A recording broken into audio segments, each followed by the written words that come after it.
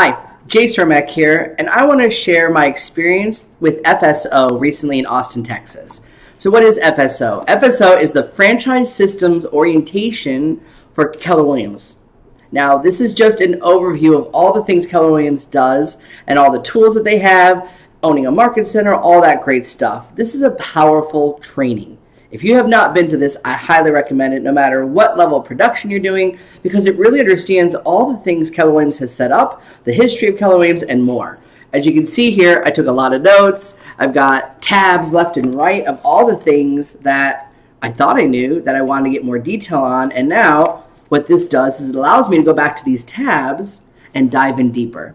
Again, it's just an overview. It's not meant to be a detailed step by step of everything, but there's a lot of key values that want to make sure that this class brings. So the main thing that I loved is it covers the foundations of a Keller Williams Market Center.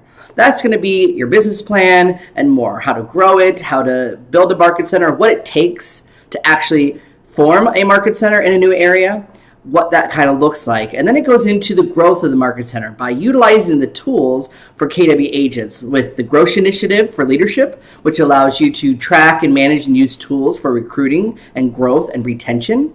And then you got the Career Growth Initiative, the CGI tools for the agents, which is going to help them get into production faster. And it really goes into um, a little more detail about those tools and making sure that we know that they are there so that we're constantly bringing value to our agents.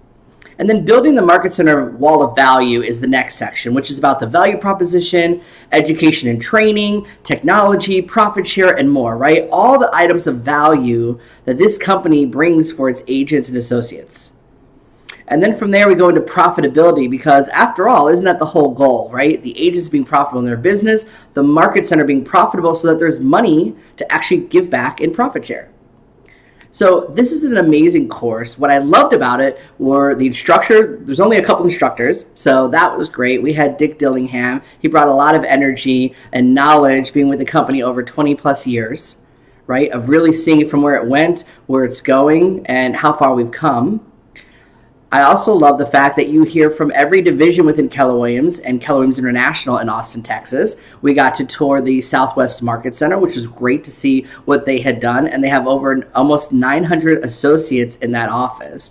So seeing it from a big scale, little scale, it was great to see where it can go and that every market center started off where most market centers started zero with just a couple agents, right? And how do they grow and who needed to be there and what leadership needed to be there and how do they hire and how do they learn and train and bring value to the agents.